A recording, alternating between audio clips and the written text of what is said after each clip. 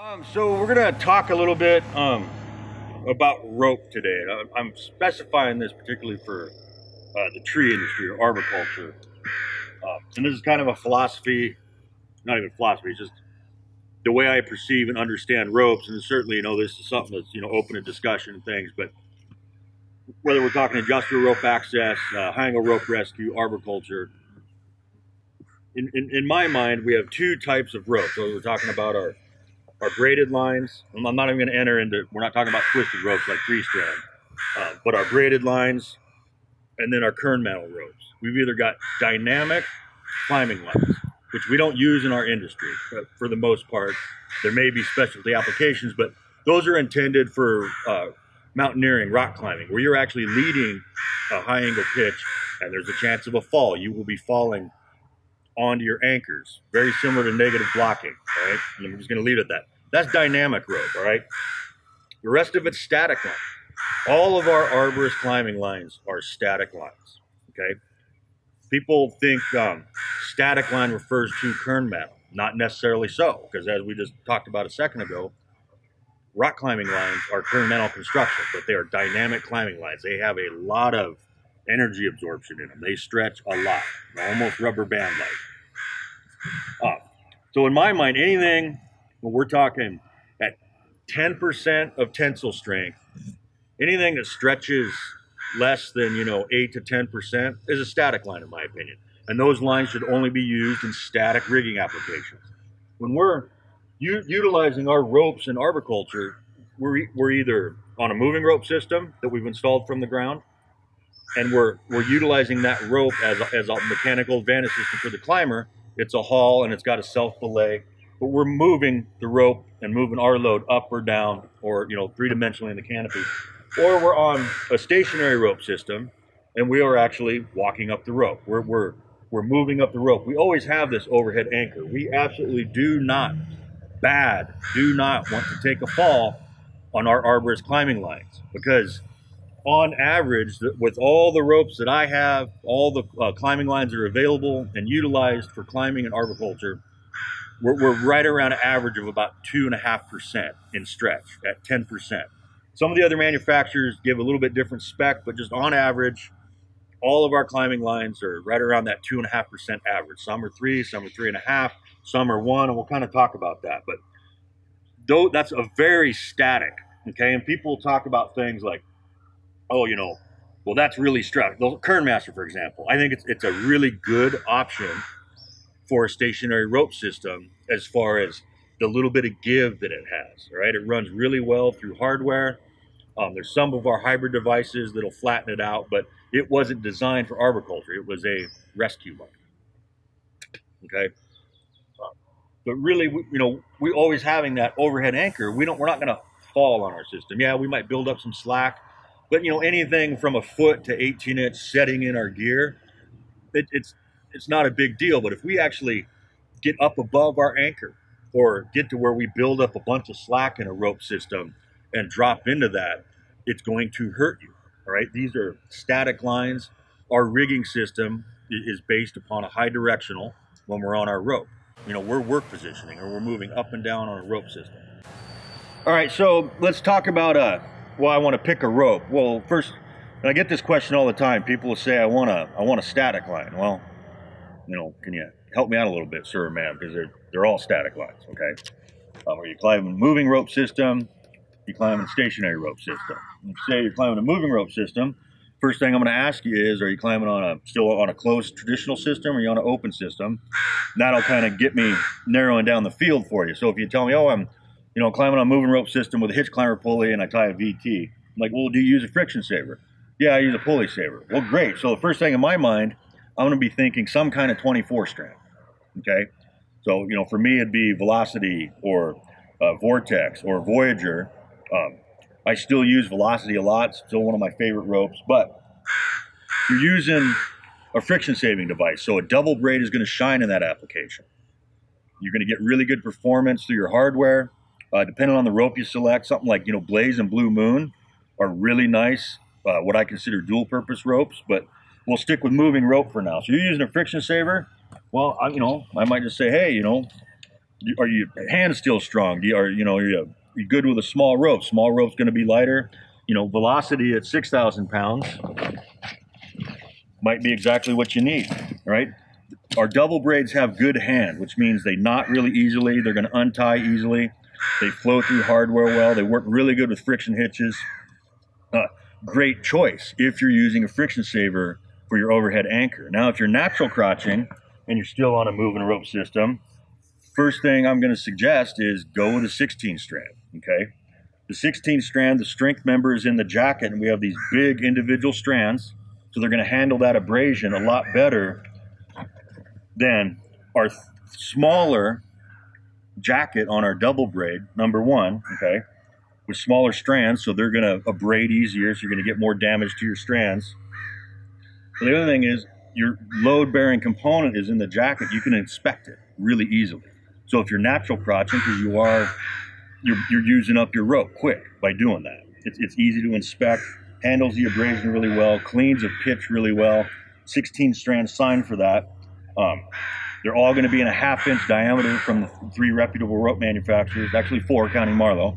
Um, so some downsides to these is in your cam devices, these are kind of maxing out some of the cams and some of the foot ascenders and hand ascenders and chest ascenders and things. So wouldn't be my first pick for a stationary rope technique. But so going back to our double braid, you know, really good hand. And when we refer to hand, we're talking about just the easily how you can manipulate the rope. You know, you can tie knots really easy, things of that nature. Where we go to something like this prototype rope, right? It really has a stiff hand. You know, it doesn't knot well. It's actually difficult to bag up because it just kind of lays there like wire, right? But if we are not using, not saying you can't natural crotch with these, but the downsides of natural crotching with a double braid is both the cover and the core share the load. They both they both are load bearing members. And you're going to get independent movement between the cover and core, no matter whose double braid it is. Some more than others, but you're going to get that. So if you're going up over a branch around, you know, a 10, 12 inch stem, you got a lot of friction in play. So we're braiding those smaller strands and we're going to get, you know, independent movement between the cover and core. So not my first pick for natural crotching, but they totally work. You're just going to not get the life out of the rope or the performances if you're using a even a set of rings or a pulley saver, um, you know, rope guide, things of that nature. So going, you know, finishing up on double braids. Another thing a lot of guys do, um, myself included. I don't do a lot of actual movement in the canopy with stationary rope systems, mostly because um, a I'm stubborn, don't do production work anymore, so I don't get a lot of opportunities for those type of trees where the benefits of you know not having to worry about redirects and things of that nature. We're central leader trees out here where I live, so you know canopy access, stationary rope has always been king for decades but I always switch over to a moving rope system. That being said, your 24 strands and a couple of the Kern mantle constructions will lend themselves to both stationary rope systems and moving rope systems. If you're going to use one rope for both, I prefer a double braid for that. And then that's where you're going to get into where we talk about stretch. So on these three Samson lines that I have here, I've got my Predator. Actually, that's a special Predator, but Predator here, Voyager, and Velocity, it's 3% stretch at 10% of tensile strength. So that being said, well, Velocity's 6,000 pounds. So 600, you know, 600 pounds is 10%. So on paper, we could expect 3% of stretch. Now, in a moving rope system, not going to be as big a deal because we've got two legs of rope sharing the load. But we get to a stationary rope system, we're actually walking up that rope you're, you're going to perceive some stretch in the velocity. Not as much so in the Voyager because it's 8,000 pounds. You know, for 150 to 170 pound climber, they're, they're not going to be spiking into that 800 pound zone. So this isn't going to feel stretchy. Something like this, um, excellent choice for dual purpose. Blue Moon, excellent choice for dual purpose. All right. Think about your, your, your double braids for those applications I still prefer a dedicated canopy access line, and then I'll, use a separate rope for moving rope technique, particularly out here where we have to advance from our initial tie-in point and get you know another 80, 100 feet in the canopy. So kind of hope that answers some questions there on double braids a little bit. And keep in mind, you know, Tachyon, the the V series from Samson, you know, uh, Blaze, Blue Moon, uh, the other color permutations of those ropes. The nylon core ones just expect around 3% stretch at 10% of the tensile strength. Your polyester core ones, such as Blue Moon and Blazed in that family, th- those are polyester core and polyester cover, and they don't stretch as much. So, you know, a lot of guys might like that better for canopy access, and it, and it is, and we're going to talk about that next. So, remember again, they're all static lines, okay? But now, now we're going to talk about our kern mantles, and um, there's a couple different, uh, couple different things I want to talk about on this. So, Teufelberger's coming out with a rope that they've developed specifically for access and work positioning for arboriculture. I don't know the name of it yet, but it should be released soon. Uh, and also, Yale has designed a rope specifically, and we're talking mantles here, specifically for arboriculture. Uh, other manufacturers are, are, working on some. So, all of the other kern mantles that we've been using in tree work weren't designed for tree work. So, you're going to have a lot of different characteristics. Um, KM3 Max, HTP, uh, Samson's, uh, you know, static line. Uh, Sterling makes a lot of other great products. These ropes are made for things like caving, uh, you know, rope re- high angle rope rescue, industri- industrial rope access applications, and there's a lot of different considerations. And one thing that all kern mantles share, with a couple of exceptions, one's from Yale, this is the best of my knowledge, and then one's from uh, Teufelberger they're all going to be parallel strand cores to one degree or another of either polyester or nylon, and they have a tightly woven. Uh, this could be you know 16 strand carriers, could be 24, 32, 48. A tightly woven jacket. All right, the job of that jacket is to protect the load bearing core. Right, so HTP is an all polyester kern mantle, but it has pretty good hand. It gets some temporary elongation when you ascend on it, but it relaxes in just a few minutes, easy to bag. All polyester. Um, and talking about this, the two sizes that we offer at WesSpur Tree Equipment is the 10 millimeter and the 11 millimeter. The 11 millimeter has on paper, its uh, stretches um, about two, I want to say it's two and a half percent. Um, don't quote me on that, but it's right in there. And I believe Sterling goes at 300 pounds.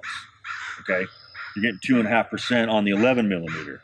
On the three eighths, we're at like one percent at 300 pounds. So your smaller diameter HTP has a lot less give in it, and uh, without going into industrial rope access stuff, that wouldn't be acceptable for a fall protection line. I don't believe. Uh, and then we go to KM3 Max. This is a super durable jacket on it. It's actually a great choice for an access line, in my opinion. It doesn't flatten out. That's something you look for with some of our hybrid devices. Uh, you know, the even the hitchhiker could be a rope smasher.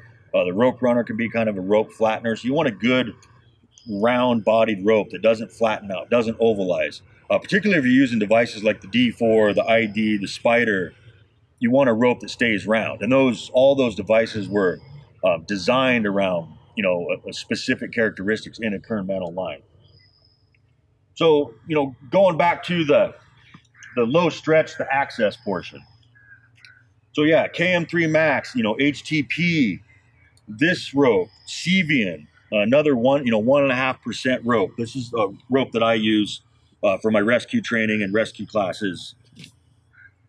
That's great for going up because you, you you don't have any give in the rope, so you do get really efficient. And you know, for the guys that are super fast, they appreciate that type of rope in, in my opinion, and I'm open to discussion on this, like I see two things that are wrong with that. I want give in the rope, and here's why. The one I'm looking at the cumulative, the over time. Okay, we have these really great systems for uh, access in a tree now that we didn't have 30 years ago. But when we utilize these very low stretch static lines for access. One, I think over time, there's no give in that line, particularly. So the give is going to be in our knees, our hips, our lumbar, right? And I think over time that that could be an issue where if you compared that to using something that's in that 3% give range, I think that extra little bit of give is going to matter. The other thing where I think it's going to matter to a degree is, and it happens a lot out here in the West. We shot that line up. I try to avoid doing this anymore. You're, you're certain you're up over that that good big, you know, four inch Doug fir branch, you know, just a couple inches from the trunk, almost textbook. But what you can't see in reality is, you know, 16 inches above that, what you're actually over before that big Doug fir branch is, is a, a little, you know, inch diameter dead limb. And that's, you know, up over a, a little, uh, you know, stop on the branch. So you're actually out on the trunk on that. You know, you, you load test, you think, oh, I'm just going to give this a, oh yeah, that's good. You know, not a good way to test your rope. That's something we'll talk about later. Sorry, test your canopy anchor.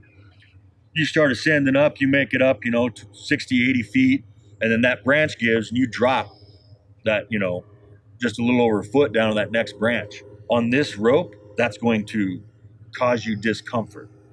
Uh, if we talk, you know, a couple feet, three feet, that's going to hurt you. Okay, especially as you get higher in the canopy and closer to that overhead anchor, now you've got less rope in the system.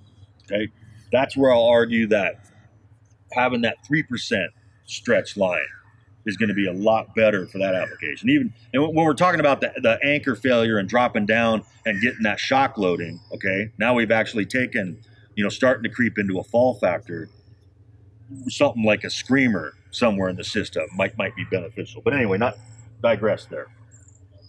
Okay, so that those are things to consider when I'm selecting a rope. So when I, you know, KM3 Max is great for a pure access line, but what I wind up using is something that has a little bit more give. I don't even at my weight, I don't care about, you know, I can utilize and get in a little bit of a rhythm with that give and I can deal with that. And I really feel it for day to day use. That's a better way to go. But if your goal is, particularly if you're uh, competing, um, you know, a great workout is just walking up a rope, do, you know, 10, 75 foot laps. You got to work out in. That's, that's good enough. To me, anyway. Uh, and, you know, so maybe, you know, racing up there on your 1% line is going to be good, but keep in mind that, that long-term thing. But so to kind of wrap it up, all of our Arborist climbing lines are static lines. And it's because of the amount of stretch that's in them, okay, and our rigging, our, our operational system is a you know a, a has a high directional in it. You know we're we're not falling onto our anchors per se. So you know when I'm going to consider and select a rope, I'm going to consider stretch. I'm going to consider you know how does it run in the hardware I'm going to be using. How does it work well with a friction hitch or does it not? Okay, is it you know going to be a good choice for moving rope system and stationary rope system? You know, or if I am going to select something for just access line, you know, things you might consider now will go into weight. Uh, we'll go into, we're not worried about so much about hand, but not ability is a big factor. You know, going back to this line, it the knotability in it's horrible. There's a couple other out there that aren't really good. You know, KM3 Max, you can you can get a knot set in it. The hand on this is pretty good, but that's the other factors. You know, you want to look at the hand and the knotability uh, consider, well, I want all polyester for this reason because I'm working in an environment that is alkali or whatever. Um, I don't want nylon core. I want an all nylon rope. So consider rope construction, uh, what the rope's made out of, whether it's nylon or uh, polyester, or you know, for the folks that want to use some of the Aramid and you know Dyneema fight, you know, cord ropes for access if, if that's your cup of tea. And then you know, look at that. Don't don't get hung up on tensile strengths. We ANSI requires minimum 5,400 pounds. All the ropes are that or more. For the for the just you climbing on your line, you're good to go. Okay.